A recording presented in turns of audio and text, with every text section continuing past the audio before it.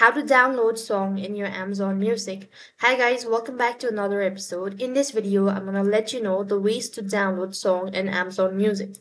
So in order to do this procedure, first thing first, go and log in into your Amazon Music. Then you'll be taken to the home page, which will look something like this. While you're on this section, press the library tab from the top left hand side bar. Next thing what you want to do is go to the song section from the list of tabs and here you just need to go and select the particular song or the multiple songs that you wish to download. Then, when you've actually selected the one, you just need to press the three dot icon next to the music. Then, you can find this option from a drop down list that is download. Press the button and you can find this downloading icon over here indicating that the music is being downloaded. This way, you could go ahead and download the song from your Amazon Music. That's all for this video. I hope the video was helpful. Make sure to like, share and subscribe to our channel.